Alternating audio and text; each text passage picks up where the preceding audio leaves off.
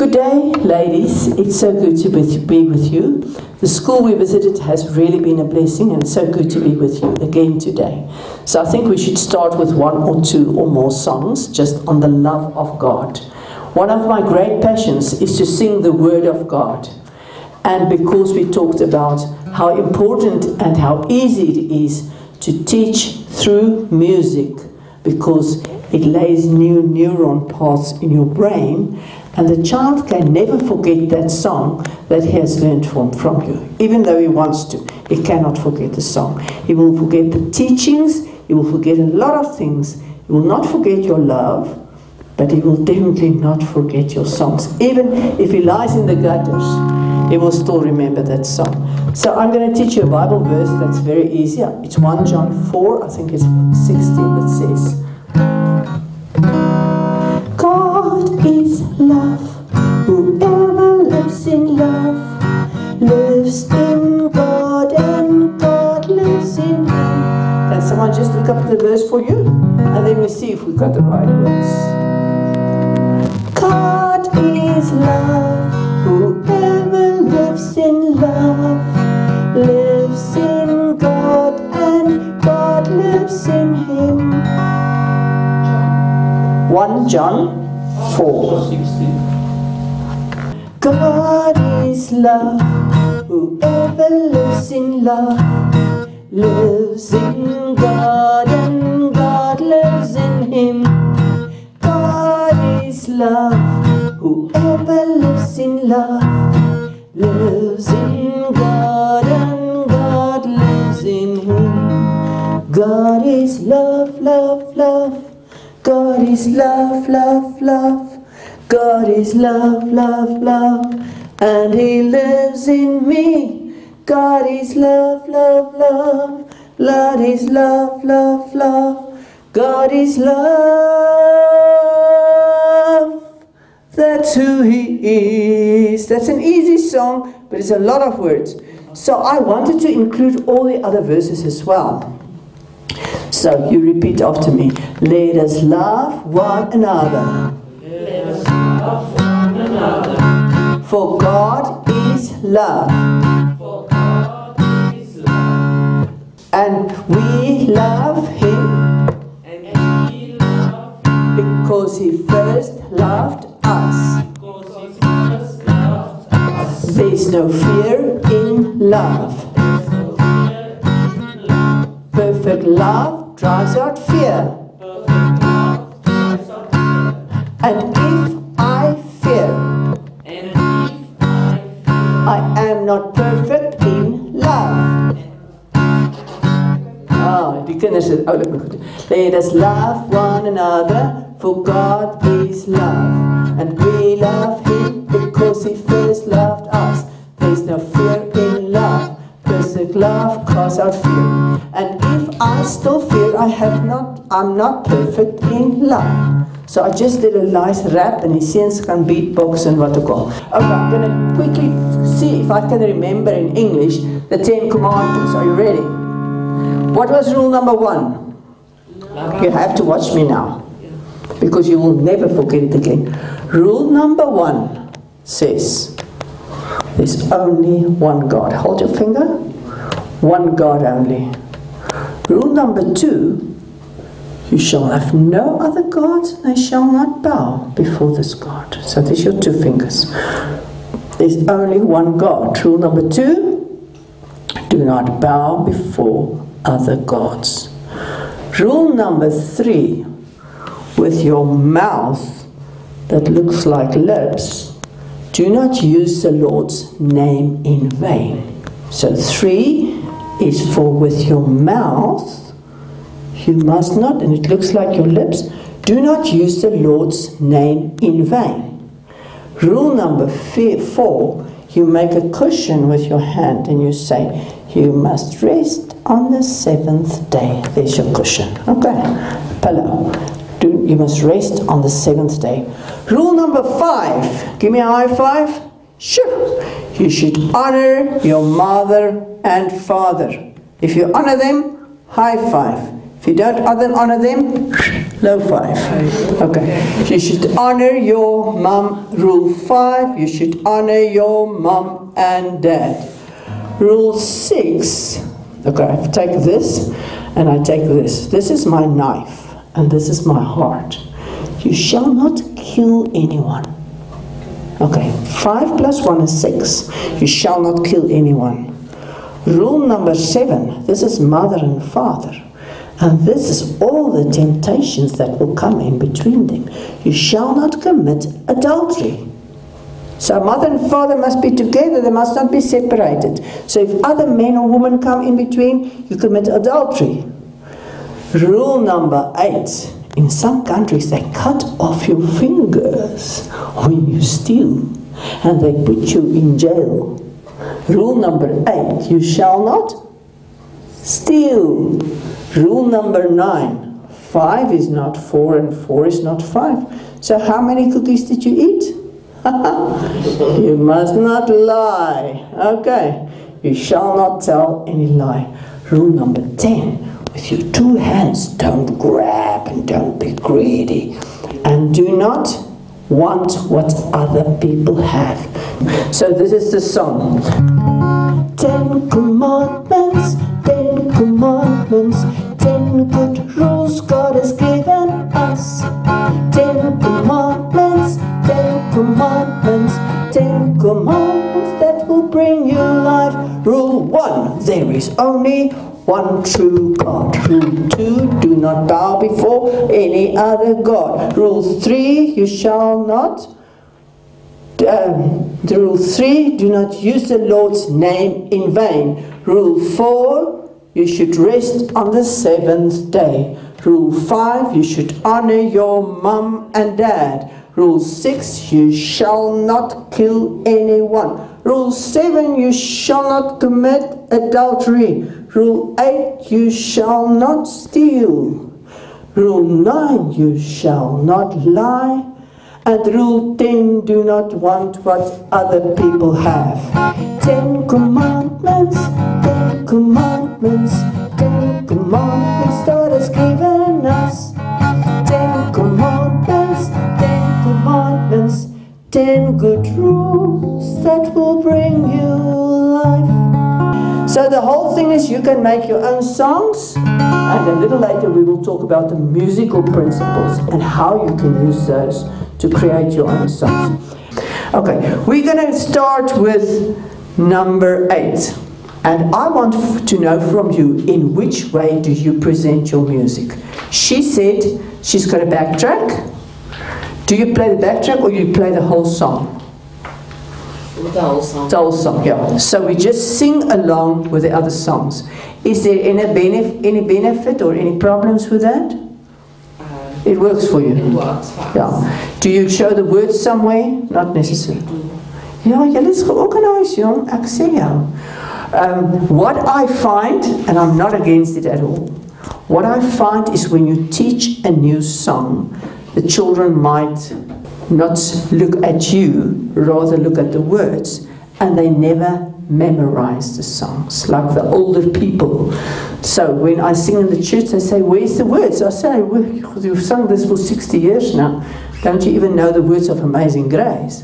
Why? Because we got spoiled with that.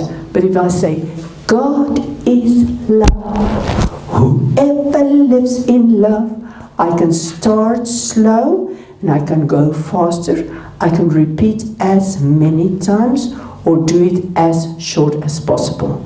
You do not have to have an instrument. This is a luxury. If you have a CD player or a boombox or whatever, it is a luxury and it's nice for the children. What I also found, it is okay just to have fun. But if the music, you will see that all my songs have been recorded in a very expensive, very professional way. You can look at all of them. I hardly ever play a song that was recorded because it's easier to connect with the people without a guitar. The guitar is also a barrier. It's easier to connect with you. Let's sing this song. Jesus loves me, this, there's nothing else. But when it's a group and the kinders is onrustig, then it helps sometimes to have a nice beat. When the children learn a new song, They just want to go. That's really what the boys do.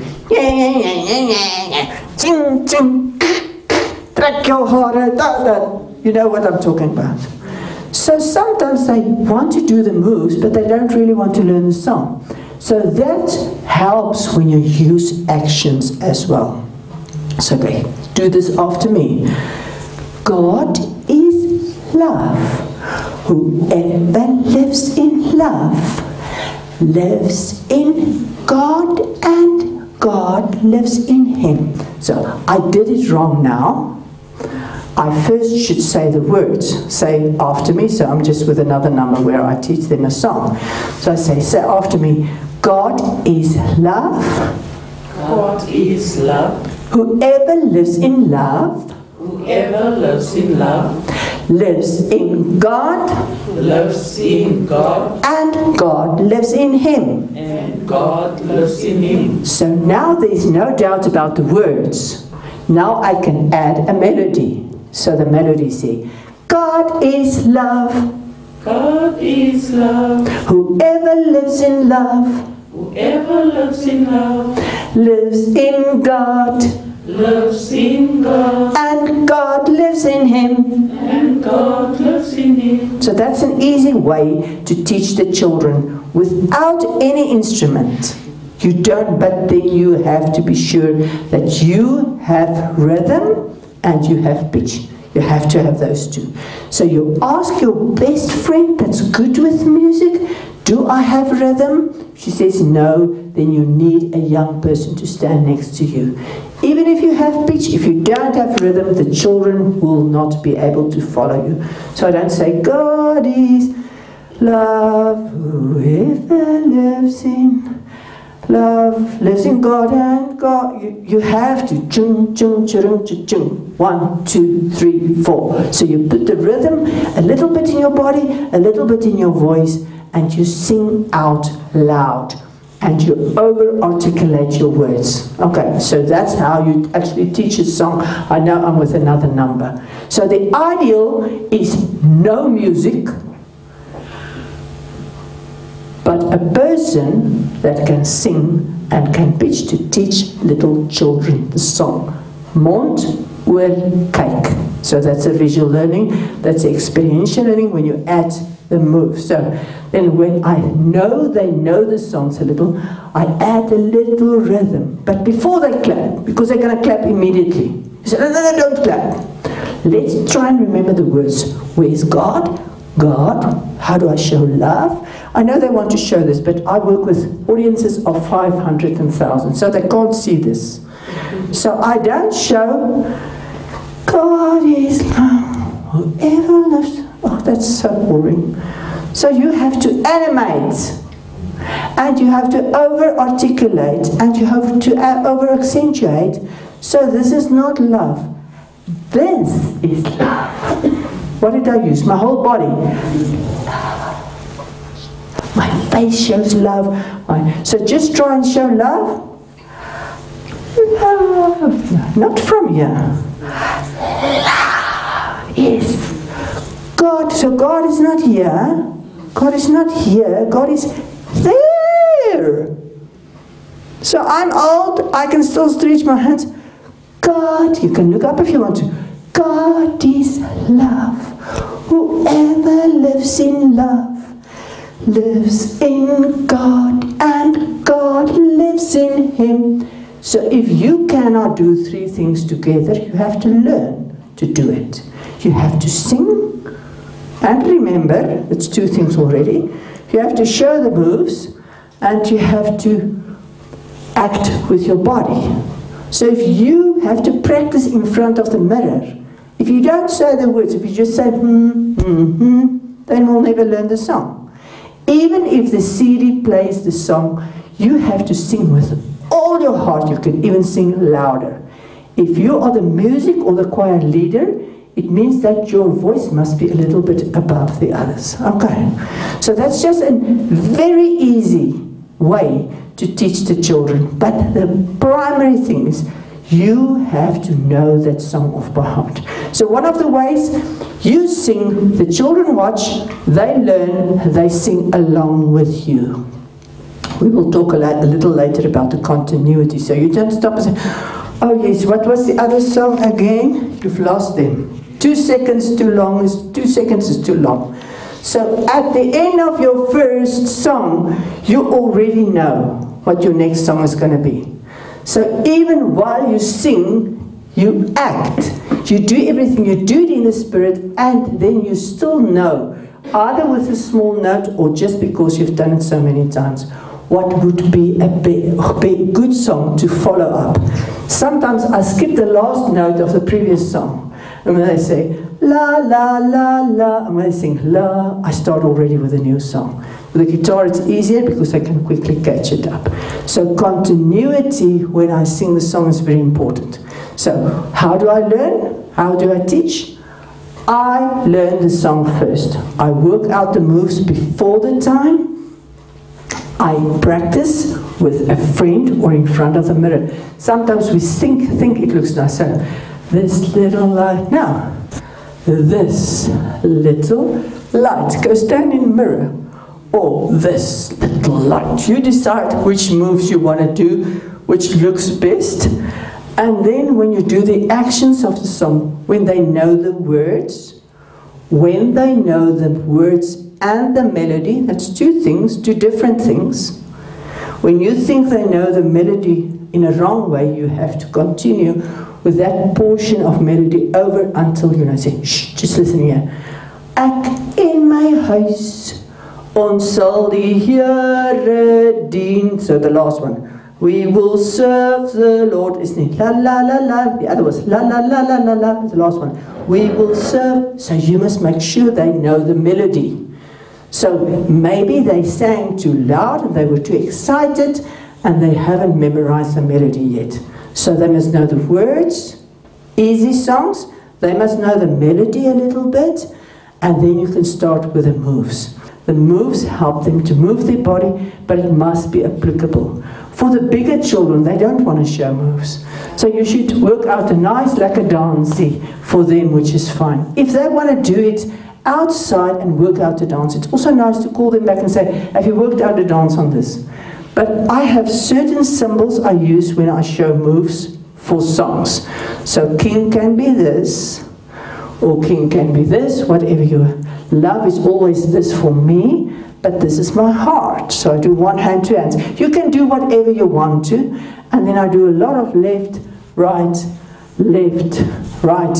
It is not necessary that you always use children's songs. But I felt that many times when they use only groot menslikies, they either don't understand it or it's not a singable tune. So we'll get to that sort of stuff. So dis soos 'n springkasteel. Jy huur nie 'n springkasteel vir groot mense nie. Jy huur hom vir vir die tyd wat kinders van springkastele hou, maak ons van 'n springkasteel liedjies ook. Goed wat maklik is, baie goed wat jumpy is, goed wat party niks seggend is. I mean, Father Abraham. So we're going to talk just now about how we're going to put the songs in different categories. The Bible divides the song into what we call teaching songs. In 2 Kings 3, verse 15, are you with me? Page 4. Then it happened when the musician played that the hand of the Lord came upon him. Him was the prophet. And he said, Thus says the Lord, make the valley full of ditches. For thus says the Lord, you shall not see wind, nor shall you see rain, yet that valley shall be filled with water, so that you, your cattle, and your animals may drink. That is prophetic music. Sometimes people sing prophecies. So that's in another category. It mostly comes natural. So if a child in your class starts singing, I love Jesus, I love Jesus, many times it's a prophetic song. Sometimes they sing over the nation, sometimes they sing something that's truth. Ephesians 5 is 19, very important. Um, speaking to one another, just count how many different things. Psalms, hymns, spiritual songs, Sing and make melody. That's new songs. So only in Ephesians chapter 5 we get psalms, hymns, spiritual songs, and melodies. And then uh, in Colossians 3, which is not there, Colossians 3 says, teaching songs, admonishing songs. Let the word of God dwell richly in your heart. So, how do we teach them and admonish them? We teach them the word of God through songs. So, where in the Bible do we get teaching word songs? In Colossians 3. It says, Let the word of God dwell richly in your heart. Teach and admonish one another. Then, with the psalms, the hymns, and the spiritual songs. So we should talk to one another actually in song. It should come natural. And then again he says, make melody in your heart and sing with thanksgiving in your heart. So what I do when I get all my songs, I can divide them into different categories. It can be in your book or not, just right there where it says teaching songs. This is a biblical division of songs. Teaching songs, admonishing songs, Moses wrote a song that was history, it was a story. Bible verse songs, praise songs, worship songs. So, what actually, how do I explain it? If my grandchild will brag to his friends about what Oma has bought him for Christmas, then it's praise. If he sits on my lap and he strokes my cheek and he says, Oma, you're the most beautiful woman I've ever seen so that's the adoration part. That's the looking up. And many times that's in the first person. God, you are. And many times praise is, my God is a big, big God, and a great big God is He. So it's can some can be faster, some can be slower, but that's not the only way to divide praise and worship. And you know, because of the tabernacle, we will do the tabernacle later today, because of the tabernacle, the gate was open, the middle gate was open, even the veil in front was open. So we can enter into the Holy of Holies without any resistance. If we follow the path, we will do definitely see how we can teach and train a child to enter into God's presence. So, do you have in your list story songs? If you don't, you must make them. Many times I make songs up if I don't want to tell a story. If the children are very restless, I make a story song on the spot. Noah had an ark, the ark was big. He had to call the animals two by two. So, nou twee you two are donkeys, get into the ark. You just draw a line on the mat. This is the ark. And they say, God is big, he will save the world. It will rain and all will die. Just sing whatever the story is and get like a refrain in that story. We did that in Russia. I can't tell you, we just, we crawled on the floor in laughter because the adults to whom I gave the lesson never saw something and they were just so good. They had to think out they had to take a friend and think out. The one was a mosquito, the one was a bee, the one was this. So I said, You get a friend. And it was like 50 or 60 people. We had so much fun. We had the ark, we had Noah, and we had just this one refrain that they translated. I can't remember, it's on a video somewhere, so I can still recall it, or just play it back. Uh, so there were some things that just worked perfectly. Uh, Moses in die Rooi See, hoe kon Moses oor die Rooi See kom? Hoe kon Moses oor die Rooi See kom? How did Moses cross the Red Sea? Can you tell me how he got? Did he swim? No, no. Did he sail? No, no. Did he fly? No, no, no, no. Then God sent a great big wind and it parted the sea and there the people walked through. So die kinders word die golwe. Die kinders word die Israeliete en hulle word die Egiptenare amper sê Filistyne. Die Egiptenare, they become the Egyptians And the great thing they love, the, the boys love to be the Egyptians. and the boy boys love to be the sea. Because what happens? Maar toe die Egiptenare deur wil loop, het die see weer toegegaan. Ja! And then they bully one another. En daar lê net 'n klomp kinders op die vloer. So they loved that. We do the walls of Jericho. Once upon a time there was a great big city. It was called Jericho. It had a great wall, big wall, and no one could get inside that beautiful town. But God said to Joshua, and then they walked around the great big city. This was on day one. They walked. So, jy maak, you make your own songs. You think if you're afraid to do it on the spot, you just try to plan it. But the melody changes you just have a rhythm. So we are with songs. What I do, I have teaching songs, I have scripture songs. So when I have my list of songs, for example, I have theme songs. So I have teaching songs on love. I have worship songs on love. So if the song has the word of love or love of God or a Bible verse, I can also search them with a search engine on my computer. But now my search engine is mostly in my brain, so I just know these five or six love songs, and I ask the children, and as I sing, the another another song comes up. So give me a, f- a few love songs. God is love. Okay, there you've got that one. It's love, it's love. The love of Jesus. It's love. It's love. Love that makes some more. Oh, that's more worship. How I love Jesus. So you can collect some themes. So if you, it does not necessarily have to fit the theme of the uh, Bible story. But it helps as an introduction, and it helps if your Bible verse that you use for that day is a song, because I will never forget it. If it's not a song, make it a rap. Just do me that favor. Whatever you want the children to remember, they have to play it out in a drama, they have to sing it out, or they have to talk it out in a rap. Then they will never forget.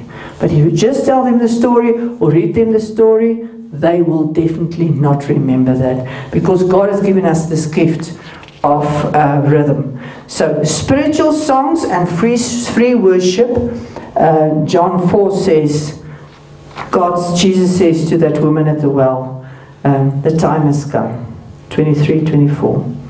When the true worshippers will worship the Father in spirit and in truth. For the Father is seeking such to worship Him. God is spirit, and those who worship Him must worship in spirit and truth. So they, we use music as an evangelism tool for those who don't know Jesus yet.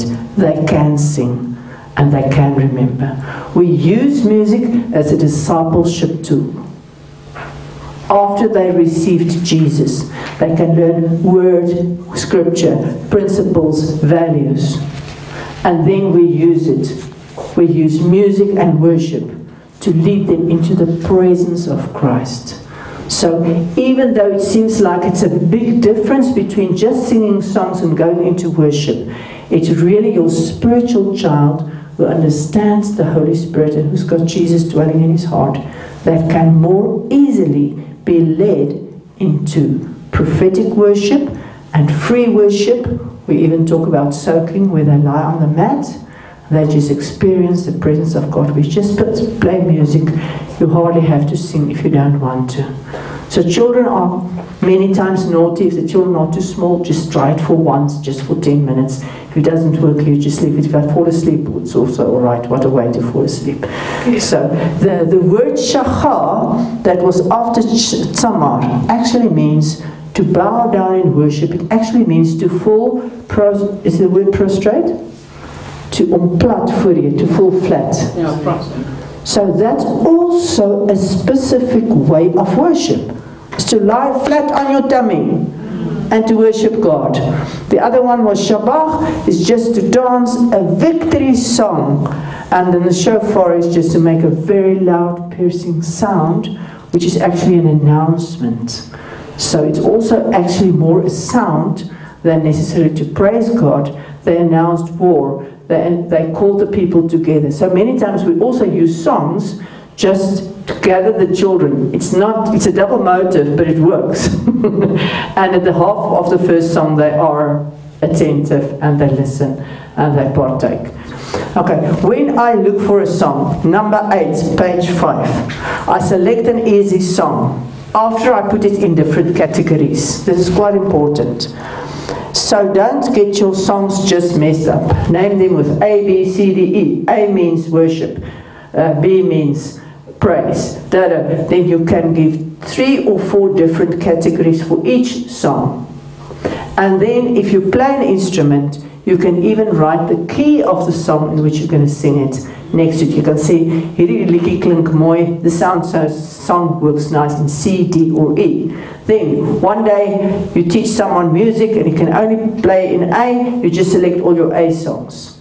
So it is important that you know where your songs are and easily reach them. If you sing a lot, this is your hard drive and your soft drive and your CD and your computer because God will just bring songs to your mind and they will sort of supernaturally link to one another. Um, David, uh, King David says, in the night, God gives me songs in the night. So many times I woke up, Ami woke up the other day with a nice rap song in her heart. That was three o'clock in the morning. Those are the songs that definitely come from God. So if you get up with a song, you take your phone, if you're married, you have to go to the bathroom, unfortunately, or else you'll wake your husband, or to the stoop as soft as you can, and you just um, record that song, even if it's with a hoarse voice. You just sing. There was one song that I recorded ages ago. Um, it was really like in five years ago, and then three years ago I wrote, wrote a program on identity. And for the you of identity was you are unique. And my scripture was Psalm 139. No one looks like me. I was secretly woven uh, by God, and He knows all my days, that specific verse. And I knew I had a song. So I prayed, I didn't get another song. So God said to me, I gave you a song. So I went through my phone and I scrolled, and I found it. And unfortunately, I even heard the water tapping in the background. That's not a very good testimony, but anyway. So I remember that I was in the bathroom and three o'clock in the morning I got this song, and this is what it sounded like. I am fearfully and wonderfully made. I am fearfully and wonderfully made. Before the world began, God had a perfect plan a plan to make me as I am. And my soul knows it very well. And my soul knows it very well. How precious are your thoughts, more than I can tell. But my soul knows it very well. So I didn't have that emotion three o'clock in the morning. But when I re-listened to the song, I knew, wow, God gave this to me. So do not despise the day of small beginnings. The guy with the name Chris Tomlin, he wrote a very simple song. Now we're already with making songs. The song's got, I think, five words. How great is our God? Oh dear, that's actually a very simple song. I wanted to say stupid, but that would be an I thought, no, oh no. The guy who wrote, um, Bless the Lord, oh my soul, he didn't want to produce a song. He said it's too common. I promise you, Matt Redman, he said, I'm not going to produce that song. And his producer said to me, you should produce a song. The sun comes up, it's a new day dawning. Bless the Lord, oh my soul. Oh, my. If you've got a song like this, that's a children's song because it sticks. It's easy to remember, it's easy to learn. So I select an easy song. I looked, number eight, at the age of the child, the culture of the child, the language of the child, the level of difficulty, the range of the song. Does it go very high, very low? Don't give it to grade eight boys because they can only sing five notes uh, when there's uh, stem het gepreek. Then the application is it real or abstract? We'll talk about that. The type of the song is it a worship song, a praise song? The theme of the lesson, and then the guidance of the Spirit. Then you select the song, and then you start to teach that song. So, children under the age of 12, maybe sooner, I don't know, find it hard to think realistic. So you have to explain if you say, you must give your heart to Jesus. They will really think, someone's going to cut me open, they're going to take my heart, I can't give my heart, I'm going to die. So you must, I know that children have the Holy Spirit, and maybe if they have the Spirit, they can sort of, in a spiritual way, understand spiritual concepts better. So don't keep away the word from them even if the word is allegorically. And all the parables were allegories. It means it was a story that actually meant something else. So I don't keep it away from them, but I actually tell two different stories. And God can link it in their brain, or you can link whenever they are big enough. I will say, milk can help you to grow. It's good for your teeth and for your nails and for your bones and you'll become a strong man. Leave it. Because that's what 2 Peter says. Now say, if I read my Bible every day, I will become so strong in my heart. I will have so much love for Jesus.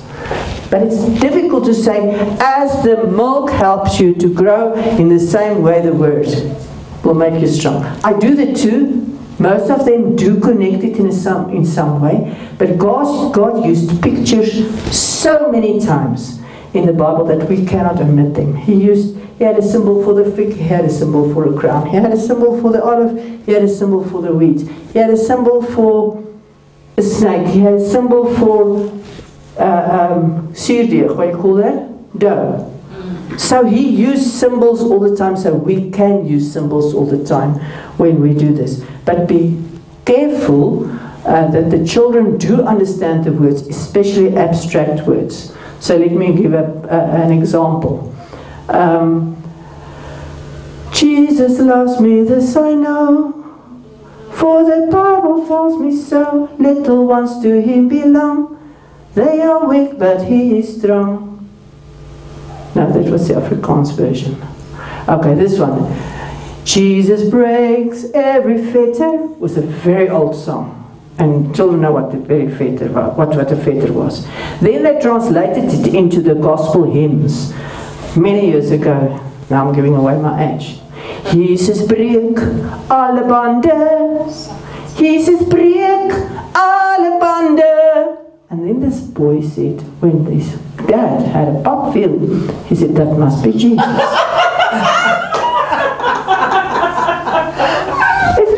It's Jesus. He comes as a thief in the night, the Bible says.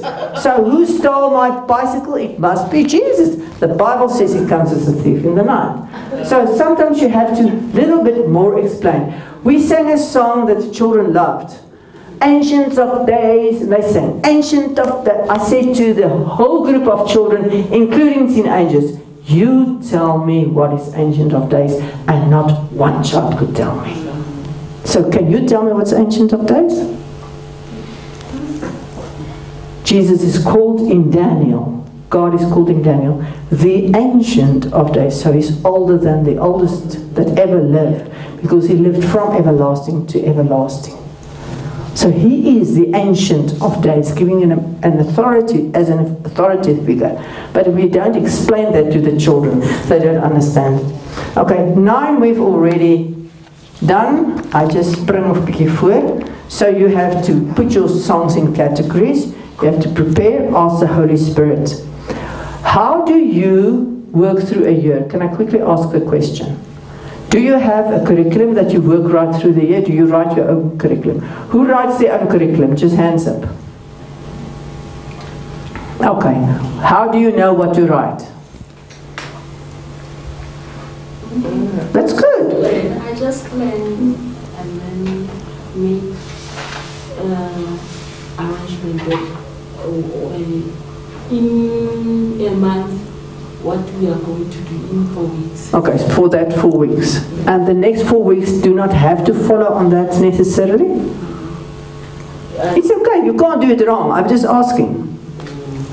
Um, Renee is our leader. Yes. So what she does is she chooses a theme. So for instance, if it's um, February, Easter, it's love.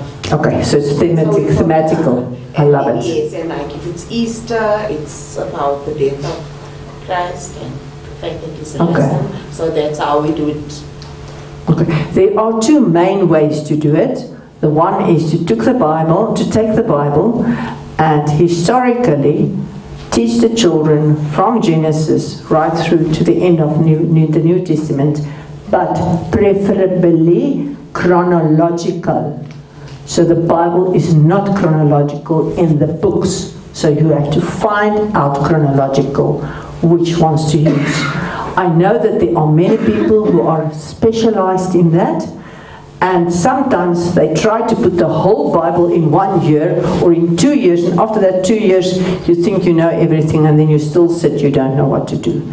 I truly believe you have to combine both. That's just my personal belief. I know that there are guys. Uh, wat gebruikt uh, Jos op uw? Um, It's an American. yeah. I find that some of the American stuff don't work for the African Context. contents, yeah, context. So, um, but there are guys who specialize in a one year, a two year, a three year, a four year, or a five year, which is good. Although it has been originally the parents' responsibility, it's actually the father's responsibility. Where do I read that? Ephesians 6. Fathers, do not tease your children, but teach them into the ways of God. So it's the father resp- father's responsibility, and the fathers don't do it. So the best way is to equip the parents and give the parents the material to work with their kids. But I don't think all parents do it. So we come in on the side and we say, okay, the parents don't do it, at least we are evangelists, we have a heart for children, we're going to teach the children. You can ask the Holy Spirit, but you can also write, as she said, different things. And then there are amazing series in the Bible that naturally comes to the front. That are like the armor of God. You can do six or 12 or 18 lessons on that. How many weeks in a year? 50? 52. 52. How many weeks in Sunday school? Every church is different. How many weeks in Sunday school, approximately? Or Bible Children's Church? Approximately 38, 40, 40 at the most. 44, some of the churches only have 38. Vier, uh, some of them 8, 16, 4, 32. Some of them only have 32 weeks. But if you have a book with 32 themes and you have seen, you repeat one or two of those lessons, or you just combine the last four lessons, or just have a singing day, or just have a fun day, or just have a Bible day, or a story day, that's okay. There was a lady in one of the churches in Pretoria, and she realized that the children don't read their Bible. She felt that the children's Bible doesn't count, and we know that many of the children's Bibles are very flock. They only have 20 stories, which is a bit smaller than the real Bible. And she asked the grade 3 to 3, 4, 5, 6, 3 to 6 children to bring their Bibles. But it must be the black Bible and it must be a specific translation. They must buy one and they can take them and they must make a promise to read every night before they go to bed and to read every morning when they get up, even if it's only one verse. The parents were angry Because when they went on holiday, they were busy, busy with their braai, and the child would come with the Bible, Daddy, we're going to read one or two verses before we go to bed. May I be excused, please, or will you read it to me? But that brought a new custom in the homes, and for I think about two or three terms, they didn't do any program. They read a piece from Genesis, for example, a piece from Deuteronomy, a piece from Psalms, a piece from the New Testament. Maybe they work through the whole book of John. So you can do sort of Bible study with children, read it through to them, teach them how to discover on the different levels the natural, the spiritual, the allegorical, and the revelation. That's where the word pardesh comes from. It was like a jewel kiss that you open. It's like this chest that you open. And the wonderful thing is you first have to teach them to use the Bible. Oh, yeah. Look where's Genesis. So they know, have to know the Bible book names. They have to know from Genesis to Revelation. They have to know where in the Bible is the middle. We did as children swart geveg. Did you ever do swart geveg? We had our Bibles, our big black Bibles, and they said swaarden is skere because this is my Bible. Swaarden is skere, swaarheid. And we had a competition. Who, and we didn't have the finger marks, those, were old Bibles. Soek vir my Obadja 1 vers 9. Begin. I mean, the children didn't know where Obadja was, so they had to look at. So the children who know where Obadiah was, they had to, they find, ah, they got all the sweets, they got all the prizes. And then the girls win, and then the boys win. And in the end, it wasn't important at that stage what the Bible verse said.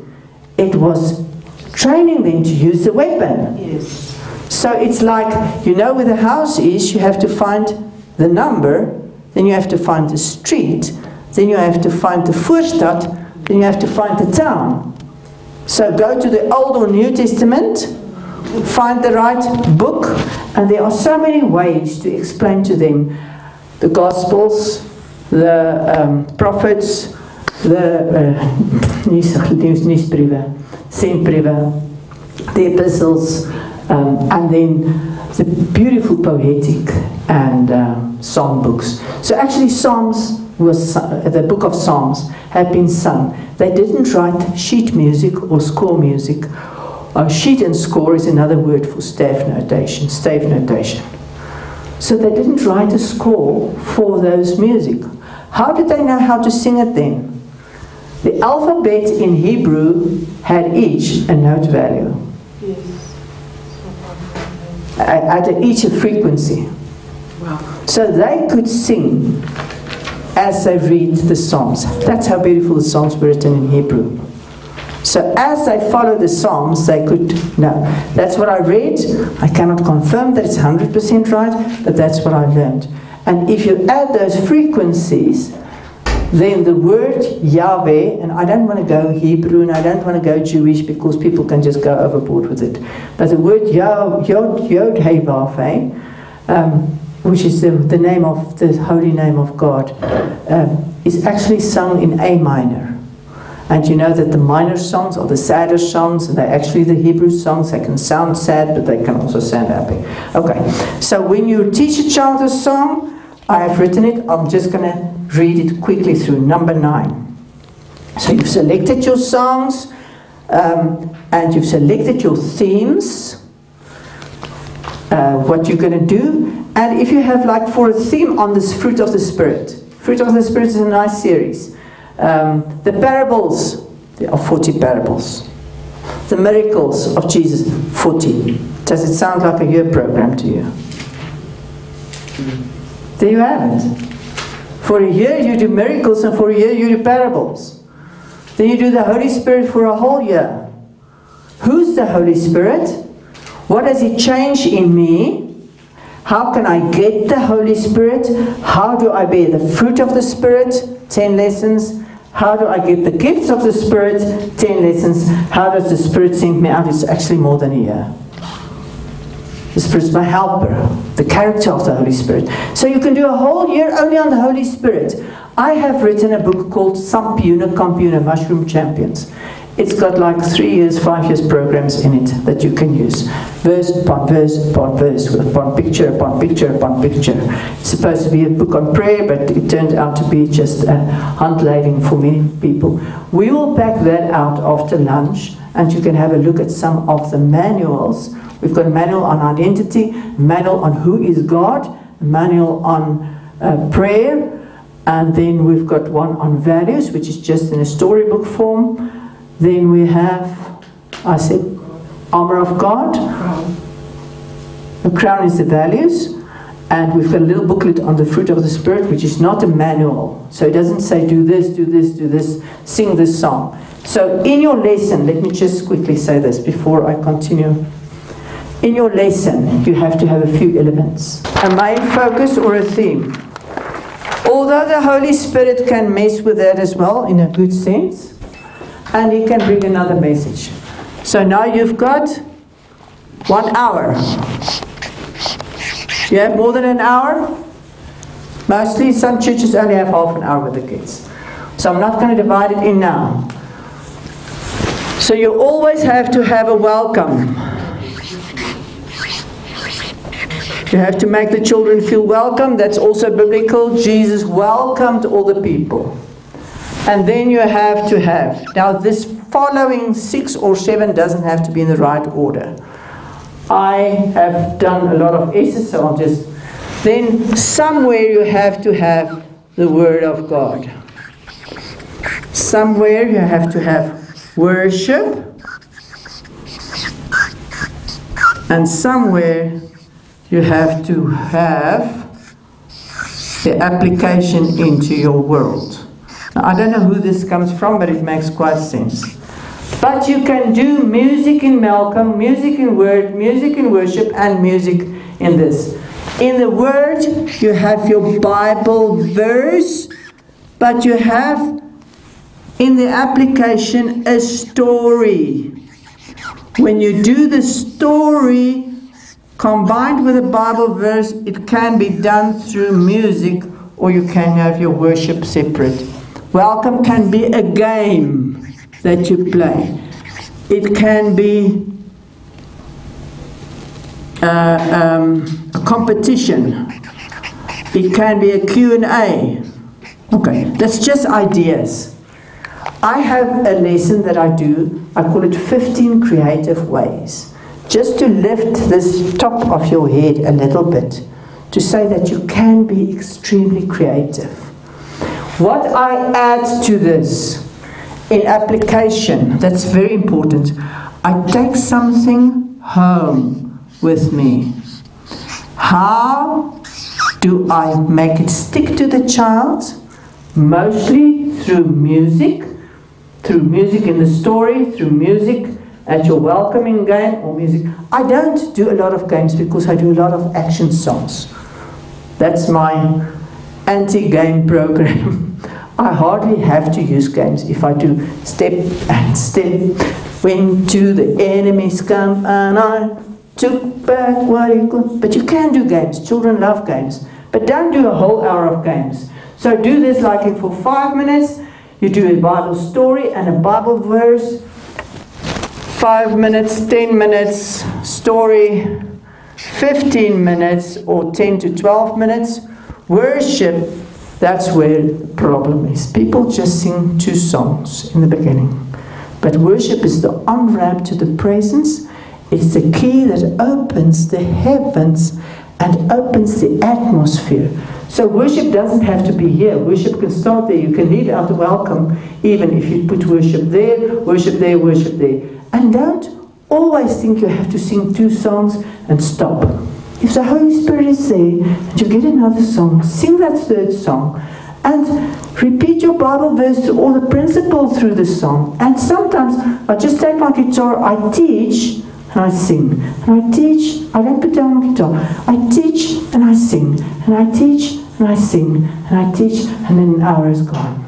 Sometimes I teach, sing, teach, sing. Sometimes I just sing, sing, sing, sing. And then I put my guitar down and I teach, teach, teach, teach.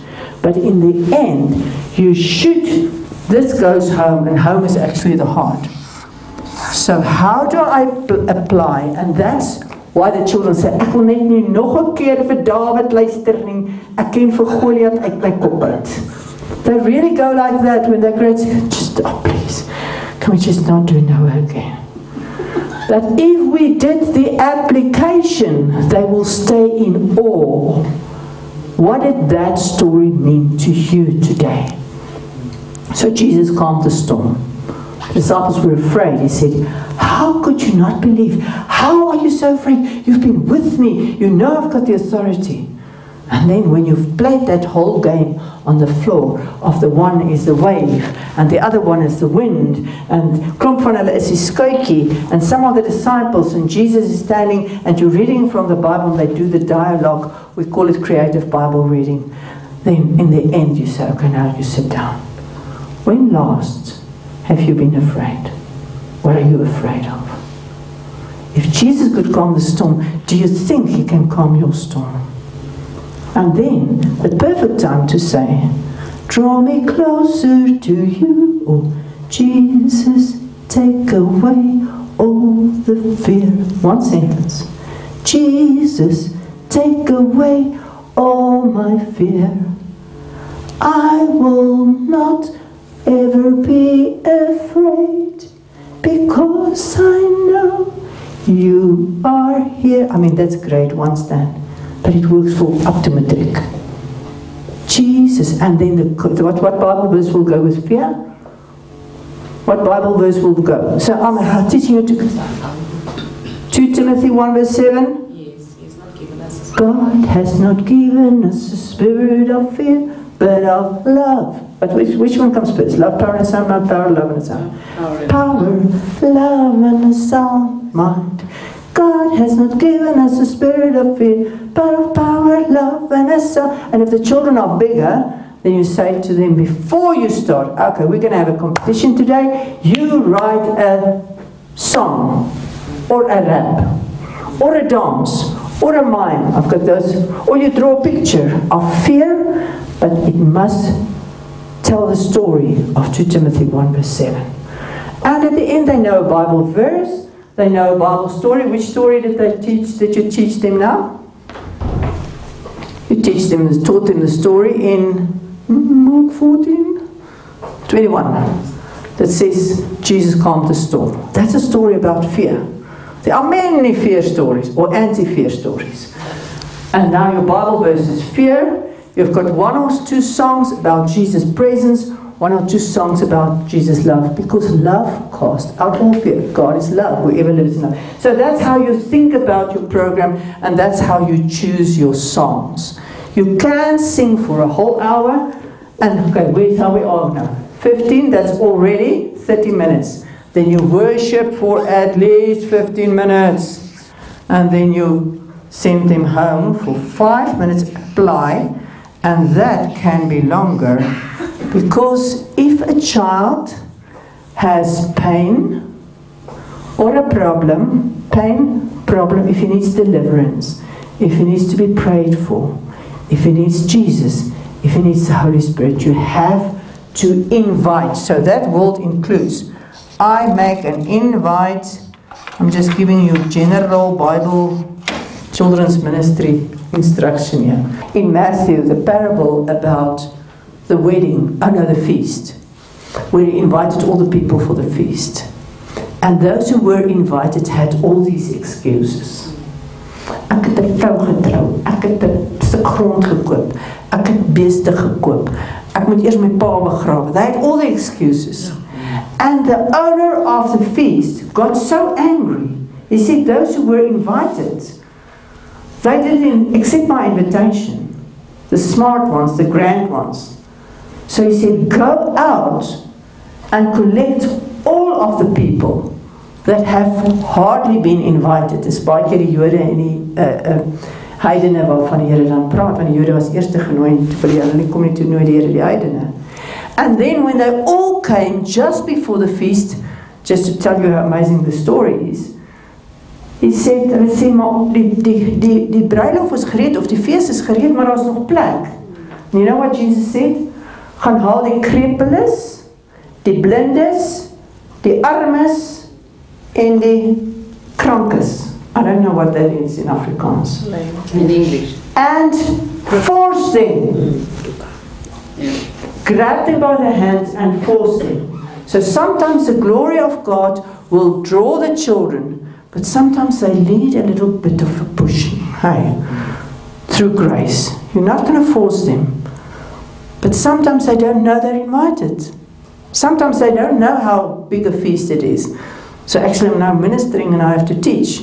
So we have to be discerners, dis, Discerning. discerning to know when a child has a need, and especially the most so called naughty or restless child who takes the most attention and is actually a clown in the class. Sometimes he's got the most hurt. Sometimes he's the child who sits on the roof, who's got the most anger and who needs your touch. And sometimes he just comes because he needs attention. And the only attention he can get is negative attention. Jy sit daar, jy doen. And you can make him a leader. Many times when I go to high school, the children, I, I, the Lord shows me who's the ramkat, rampokker, uitnek, what, what do you call him? And then I go to that guy and I say, did you know that you're a leader? And then he starts to blush and he says, "Yeah, mm, you've done it on my eight now, yeah. And, and I said, you know what, there's a very fine line between leading children to darkness and leading children. God has chosen you to lead children to, dark, to, to light and not to darkness. But I can see God's leadership in you. And for the rest of that hour, it's just like, shoo, he's just awestruck. Someone saw me for who I really am.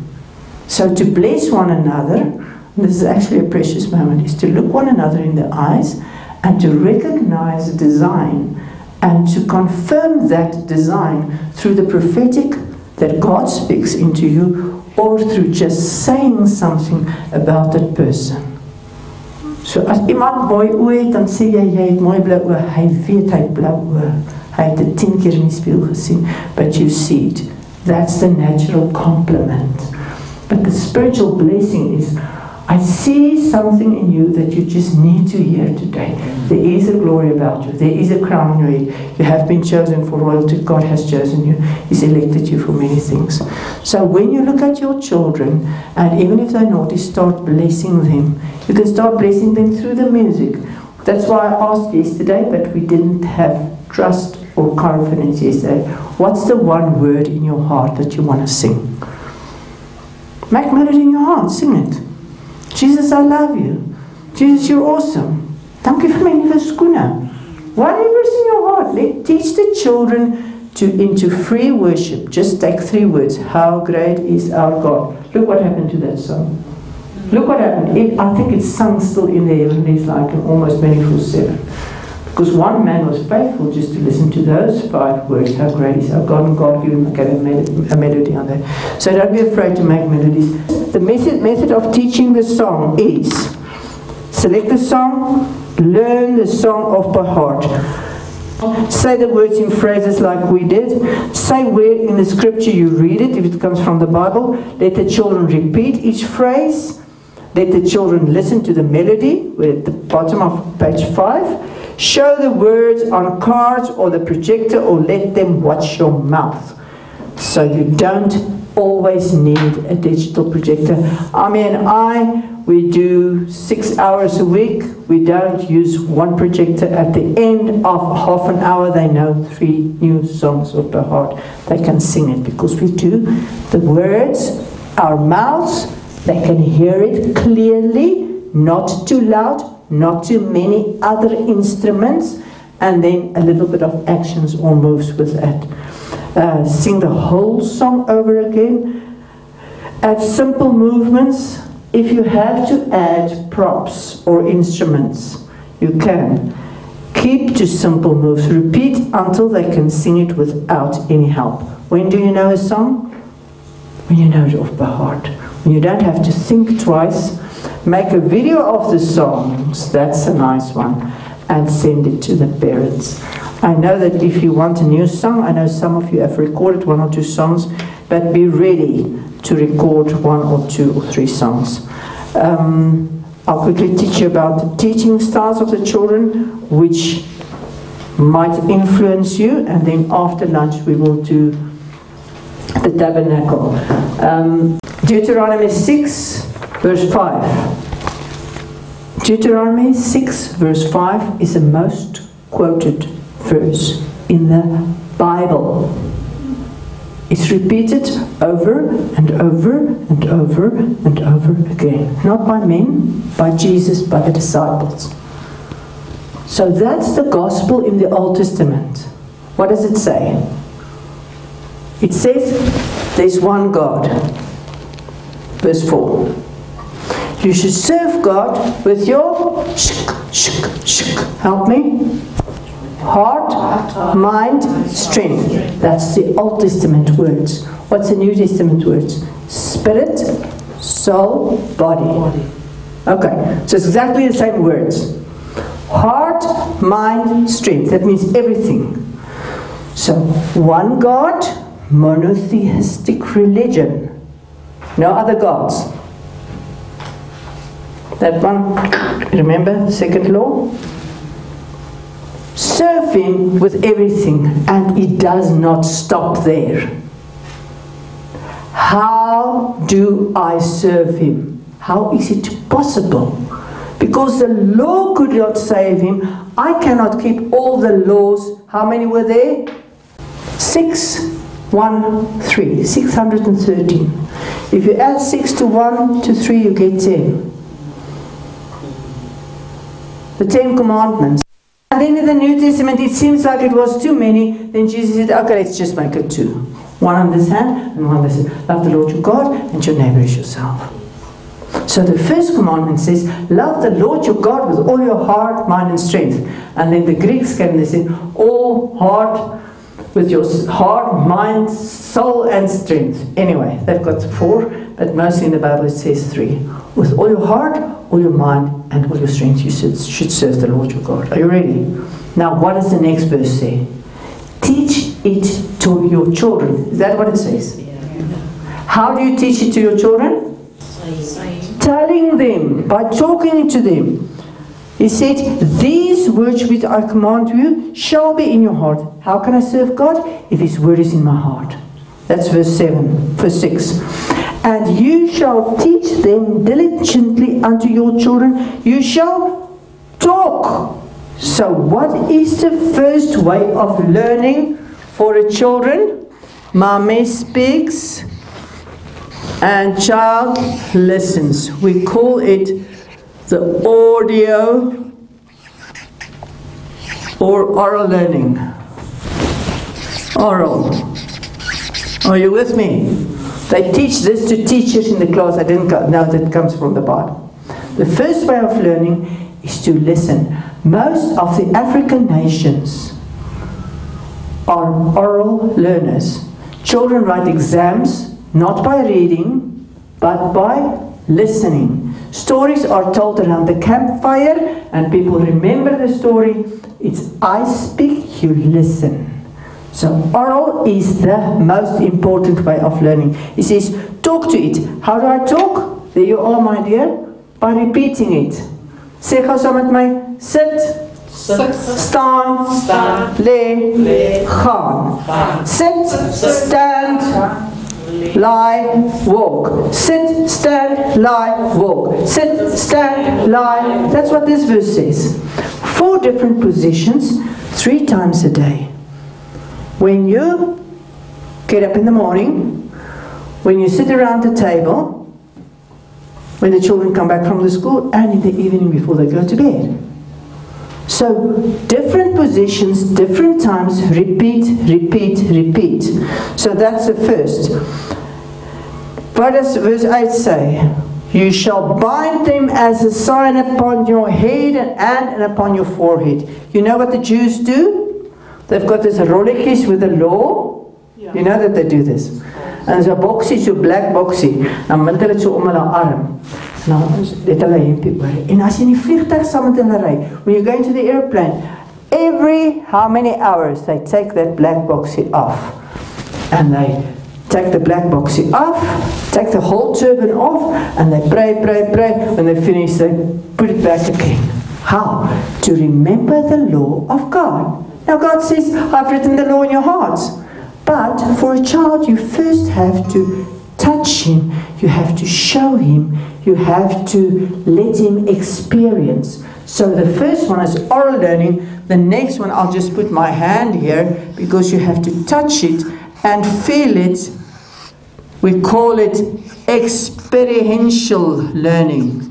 I'll just write experience. You have to experience it. That's why we say the wise man built his house, stuff sold dog. He experiences it, he's doing the movements. So the first way of learning is oral learning, you hear it. The next one is experiential learning, you feel it. And the third way of learning, let's see if it's in the Bible. Uh, verse 8 says, You shall bind them as a sign upon your hand, and it shall be as a frontal between your eyes. Verse 9 says, You shall write them upon the posts of your house and on your gates. So now, after they've done oral learning, after they've done experiential learning, we go for visual learning. Reading and writing is the third way of learning, not the first way of learning. So now we are worried about the words. They must be able to read. But to use a symbol is even more powerful. To use an action is even more powerful. To use the sound of your voice is even more powerful. Do you understand what I say? Okay, so here's the eye. Sommer nog 'n oogie. Daar's hy. Visual learning. And now they can see the words. God is good. God is so good. So now they can read it. So, but we use all three of these, and this is called visual learning. I do not speak against PowerPoint, but PowerPoint is not smart. PowerPoint is the lowest form of reading, the lowest form of learning. If you have a short video or a picture on PowerPoint, if the, your PowerPoint had that on, it was efficient. But if you have words, you say, okay, number one, God is the creator. And on your PowerPoint, you write, God is the creator. It's just an insult to the people to tell them they actually can't hear. That's my opinion. Or you just stimulate what you've just said through visual. But if you wrote a hand and said,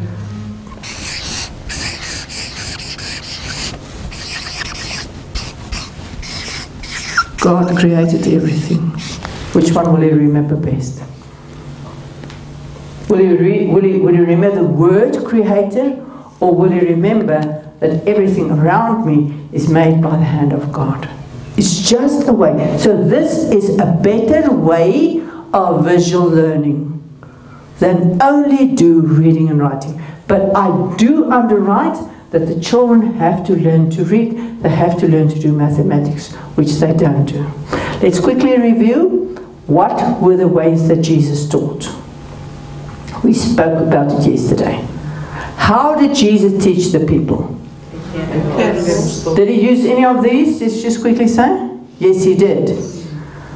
But let's just quickly write down which were the ways in which Jesus taught the people. Did he take a PowerPoint and he said, number one, you should love the Lord your God? Yeah? Okay, I love it. She says, Sonia, now. Stories. What stories did he tell? He used his own made stories and they're called parables. There was a man, he was a sower. There wasn't a man, man, he made it up. But he sees it every day so he can tell his own story.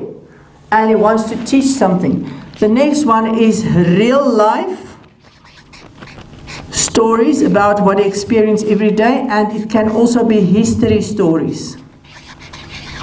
Things from the past. You know that the brother Abraham has done that and Moses has done that, but I tell you this is what I say.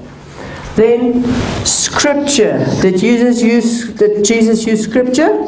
Yes. How where did he use scripture? How many times? More often than not. What scriptures did he have? He had the law and the prophets. I mean, he was the word. Okay. But he quoted a lot of scripture, and that was from the law and the prophets. So it was the Old Testament. He couldn't have quoted the New Testament because it wasn't written yet. Yes. Okay, so he used the law and the prophets. He said, It is written, written, you shall not. And every time he chased away the enemy by using the scripture. So then I like this one. He used a lot of this. He didn't do Q and A, he just used Q and Q. He asked a question, then he asked another question, then he asked another question on top of that. And they said to him, Are you the Son of God? He said, First tell me if you believe this, and I will tell you I'm this. He was, hy amazing uh, redenaar geweest. So Jesus taught through these ways, and then very experiential, I call it, he showed them that they can see through miracles, signs, and wonders. But the miracles he did was actually so the miracles and the parables, to study those two together, you get all your values, you get all your character, you get all your uh, themes like fear, whatever. And a lot of them is about finances. A lot of them is about stewardship. A lot of them is about the second coming of Jesus. Just go to the. I always revert back to the parables, then I don't have to think out another story. So now I use the life of Jesus, which is a real life story. I, li- I, I use real life stories of people around me when I explain something. I make songs of people and stories around me. I make songs of Bible stories. So I tell the story of uh, the ark or the ravens come and they bring food to Elijah with the application. I use a lot of scripture when I teach, when I song, sing. I use a lot of questions when I teach. That's at the end of the lesson. You have to apply that.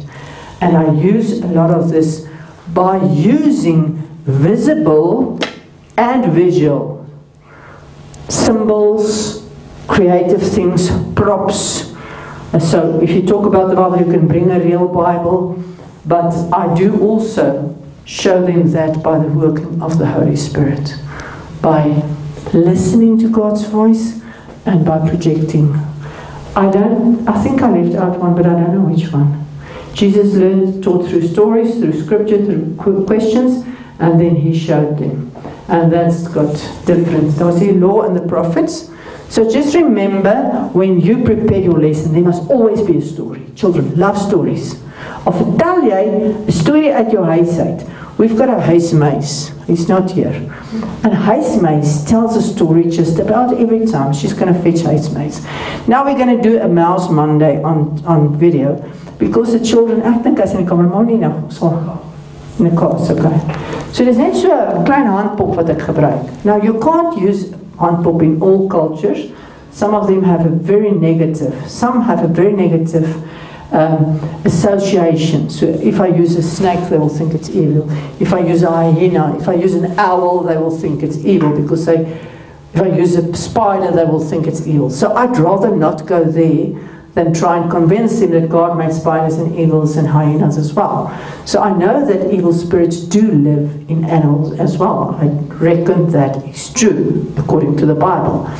But um, I've got a very friendly mouse, and his name is House Mouse. They also always have a trouble. Either, and this trouble always reflects what we're going to teach about. So now we teach about Jesus coming again, and you must be ready. So daar's net drie goed. Jy moet vol wees. Jy moet skoon wees. And you must be expectant. You must be ready. So that's the signs of the bride of Christ. Now, this poor little, now the parable that I use is a parable in Matthew 25 where it says there were five wise and five foolish. That displays the story of the second coming of Jesus. So we all are virgins waiting for the king to come, but some fell asleep. The ones that all fell asleep, and when they woke, some of them didn't have enough oil. You remember the parable? Lovely parable. I just make little lamps. Just cut orange paper with a lamp that looks like a lamp. It's a two minute pr- prop. And there I call five children and another five girls, but to five of them I give another orange beaker which they can fill their lamps with. So when they wake up, the others don't have anything to fill up and they can fill up. So he's ready. You must be ready. You must watch and pray. So the three things of the bride, she must be clean. So her whole life is about there mustn't be a spot or wrinkle on this dress. The other thing, she must be full, full of the Holy Spirit. Hey, that's what the Bible says. Always wear white. Let oil on your head not let your head not lack anyone. And then watch and pray. Watch and pray because you don't know when he's coming. You must always be ready. Now this little house mouse, he just falls asleep because he was waiting for his grandfather to come and fetch him, who promised him an ice cream, and he waited and he waited, and granddad didn't come, and then almost missed his ice cream because he fell asleep. And they said, But I've got a story that almost tells the same thing. So I use a real life situation. Sometimes I play, sometimes he's naughty, or his brother steals his toebroodjies and he gives him a slap, and I've got to teach him not to do that. So invent stories that the children enjoy, and then the question is, when last did that happen to you? Do you sometimes feel angry? Oh, yes, I sometimes feel so disappointed. I am so frustrated if this or that happens. Or if that happens, you know, I don't have that much patience. But you know, this story tells. And what do we do? What did Jesus promise? What, you go back to the word or the scripture, Jesus promises. Jesus used the word a lot, he was the word, but unfortunately, and that's a very sad story, the devil, the enemy, also knows scripture very well. So you have to outrun him, outsmart him, outplay him because you've got the Holy Spirit. And you know what? I've got the miracles, signs, wonders. What's the counterfeit that the devil gives? He gives witchcraft, he gives sorcery. I can't remember what the miracles was. Magic. Magic. Magic, sorcery, and witchcraft. And the children run after those in animation stories, and everybody think it's an animation. It's without. And that's what many of the creators of animation just use to make you believe that it's not. And God said, I've got the real thing. It's miracles, signs, and wonders. So we have to go into the supernatural and we have to stimulate them to believe. And if we don't operate in that level, if I can't put my hands on a child and pray for him to be baptized or filled with the Holy Spirit, it's probably because I'm afraid or I don't think it can really happen. If I don't believe, if I want the children to go in worship and to really feel God and experience God, I also have to experience Him first. If I want a child to know the scripture, I have to know the scripture. If I want a child to live, how shall a young man keep his way pure? By keeping Psalm 119, come sister. Wherewithal shall a young man keep his way? By keeping it according to your word. I have hidden your word in my that I might not sin against you. Let's just pray, Lord, you're a good God, and we just honor you for all these lessons. We just honor you that you teach us. Lord, I can just give a few ideas, but you are the teacher, and you're the rabbi, and you're the only one that's good. And I really expect in my heart that your word will become alive and that even the ladies who sit here will be able to produce and create their own curriculums, their own plans, their own programs, their own songs, and they, they will come alive and say, Wow, God has done something in my heart. And I have the confidence and the boldness Because this weekend I surrendered again by saying, I am a chosen generation.